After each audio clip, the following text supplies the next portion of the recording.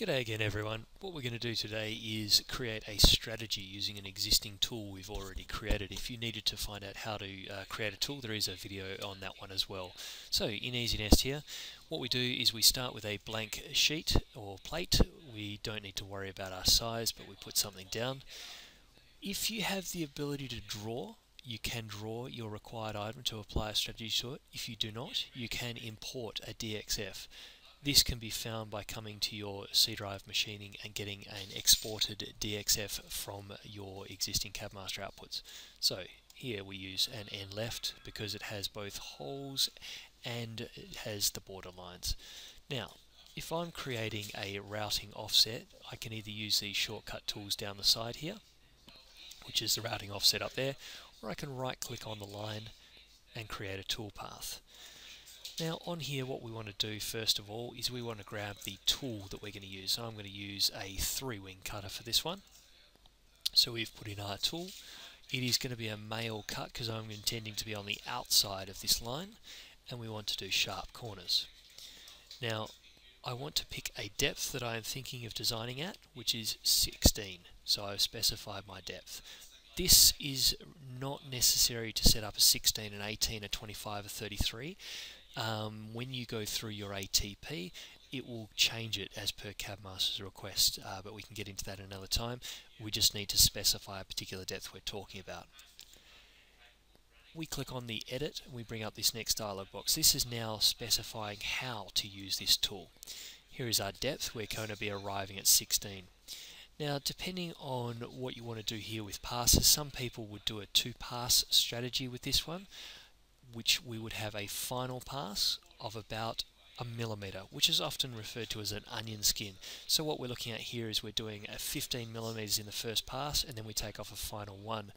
Before, when I mentioned about depth, if you needed it for 18, it's going to be 1 16th of the material is going to be left in the 18 if you used it at 18 deep, because it will stretch it outwards.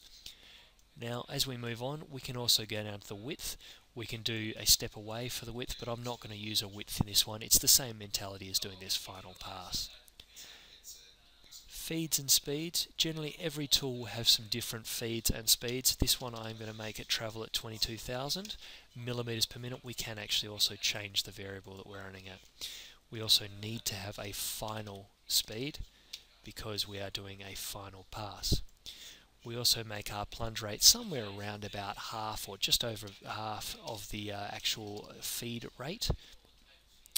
And spindle speed is generally 18,000. Generally this is controlled by the machine so it's not as vital as the others.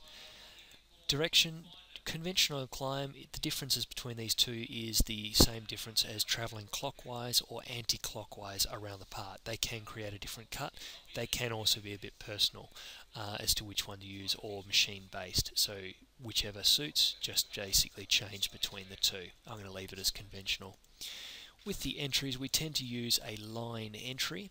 We generally use about three lengths of the tool as our entry length and we are a one millimeter away angle. We also use a three-dimensional sweep in, so we sweep in on a 3D curvature line like I'm demonstrating with the mouse. We also make that exit the same on the other exit there. And we tend to overlap by at least two tool lengths.